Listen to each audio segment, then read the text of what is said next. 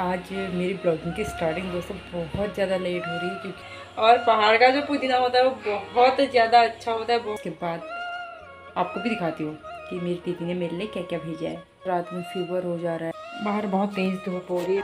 देखते ही मुँह में स्वाद आ रहा है तो फटाफट से हम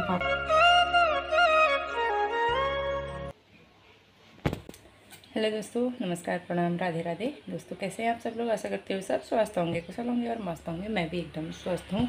और आज मेरी ब्लॉगिंग की स्टार्टिंग दोस्तों बहुत ज़्यादा लेट हो रही है क्योंकि आज था स्वच्छता अभियान।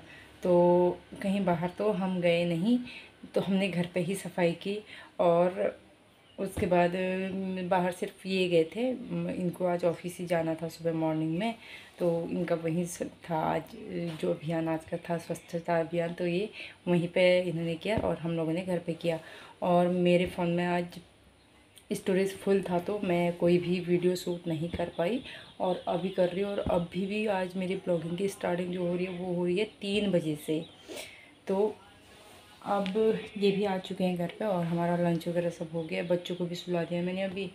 क्योंकि सुबह से बच्चे भी थक गए थे और बच्चों को कल से एक की वो हो गया कि बाहर से ही नहाना है धूप में, वो भी पाइप से नहाना है। तो बच्चों को बाहर ही नहलाए और उसके बाद अब खाना पीना भी हो गया, बर्तन वगैरह सब कुछ हो गया और मेरी दीदी ने, धाना चूल्हे वाली दीदी ने मेरे लिए कुछ सब्ज़ी वगैरह भेज रखी है। तो अभी मैंने उसकी अनबॉक्सिंग नहीं कर रखी क्योंकि मैं उसी का वेट करती कि पहले सारे काम निपटा लेती, उसके बाद आराम से मैं अनबॉक्सिंग करूँगी। और दीदी, पहले से एक बार थैंक यू और पहले मैं अनबॉक्सिंग कर लेती हूँ। उसके बाद आपको भी दिखाती हूँ कि मेरी दीदी ने मेरे लिए क्या क्या भेजा है। कल से ना तबीयत भी थोड़ी ठीक जैसी नहीं लग रही है, थोड़ा रात में फीवर हो जा रहा है और गले में भी दर्द हो रही है थोड़ी। वैसे अभी तो ठीक है, लेकिन सुबह बहुत ज़्यादा दर्द हो रहा था।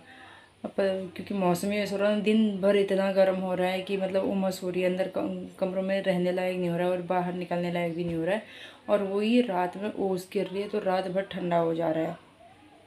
तो ये मौसम मतलब ऐसा ही है। बस हमें खुद का भी ध्यान रखना है इस टाइम पर और बच्चों को भी बहुत ज़रूरी है ध्यान रखना। तो चलो, हम करते हैं अनबॉक्सिंग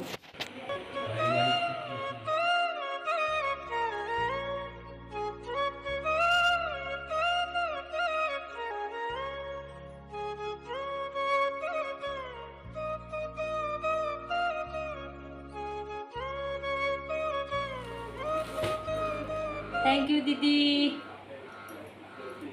मेरी दीदी ने इतना सारा सामान भेजा है आज भी? ये गोभी है, बैगन और ये खीरे वगैरह हैं ककड़ी ये मूली और ये सेब ये सेब अब बहुत अच्छे से पक चुके हैं तो इनको खाने में बहुत ज़्यादा आनंद आएगा क्योंकि बहुत ज़्यादा टेस्टी होने वाले हैं। और ये है बीन्स, इसमें कितने बीन रखी है? ये।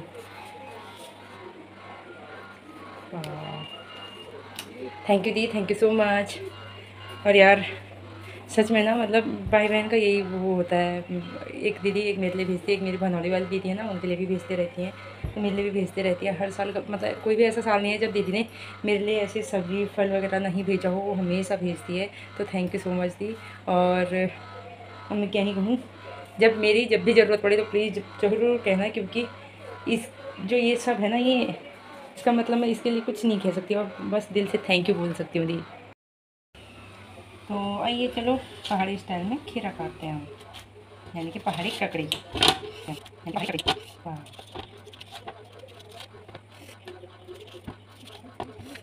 ये हमारा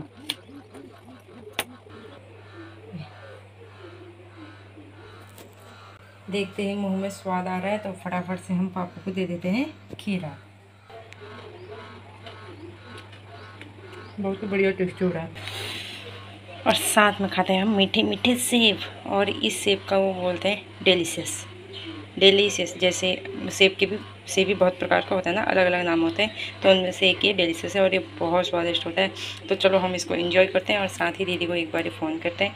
मैं बहुत बार कोशिश कर सकती हूँ, लेकिन दीदी फ़ोन उठा नहीं रही है। तो चलो, अब करते हैं।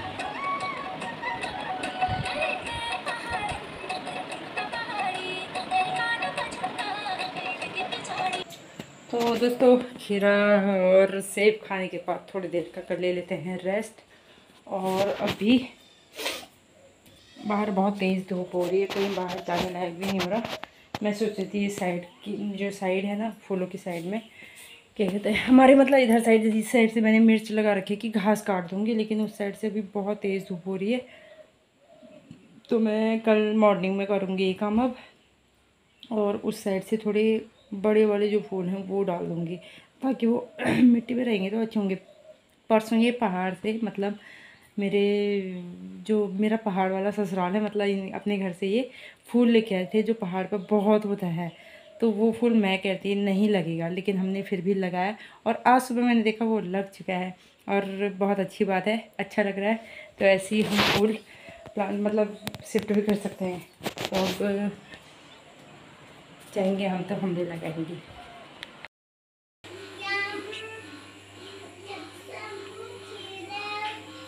दोस्तों कंफ्यूज मत हो, वो चटनी है।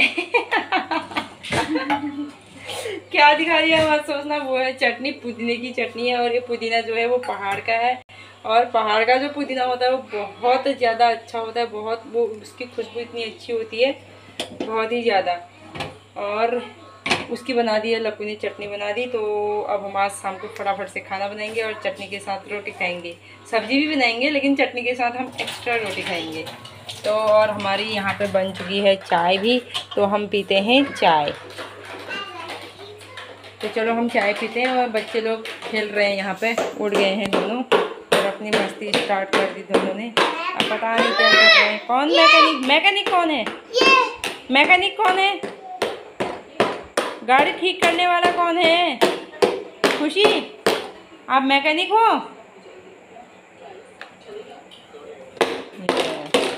तो किसी को भी अपनी गाड़ी ठीक करवानी है, रिपेयर करवानी है तो प्लीज़ कांटेक्ट खुशी। ये है चाची लोग का मडवा और इसमें भर रखी है गोबर की खाद और ये गोबर की खाद बिकाऊ है मतलब बेची हुई है। और ये है चाची की गाय। हेलो माँ। Hello hello Kali.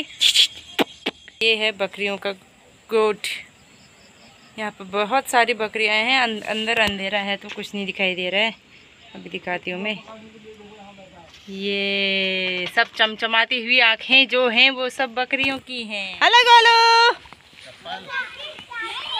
कोई बात नहीं। ऐसे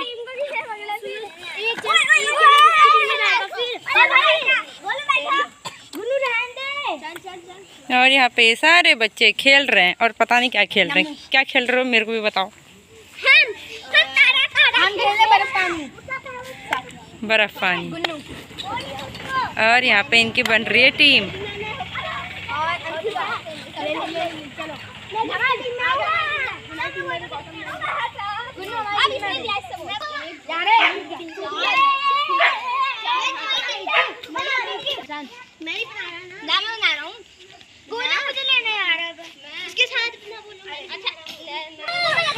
गोलू बाहर घूमने नहीं गया।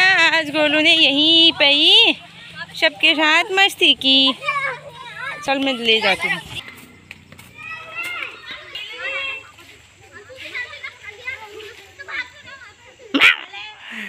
सब्ज़ी हमारी रेडी है।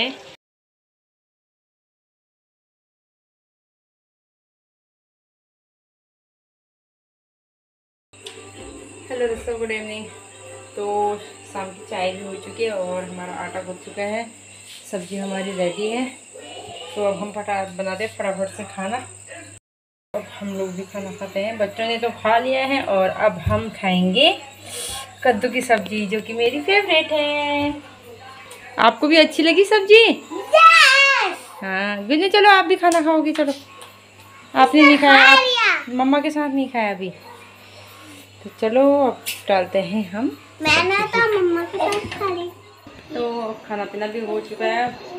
और लेकिन ये जो हमारी बच्चा पार्टी है ना ये बड़ी तंग करती है रोज़ के रोज़। ये बिल्कुल नहीं सो रही है। अभी हाय नहीं अभी गुड नाइट का टाइम आ गया। गुड नाइट बोलो। Good night bye bye Garvit आप भी बोलो।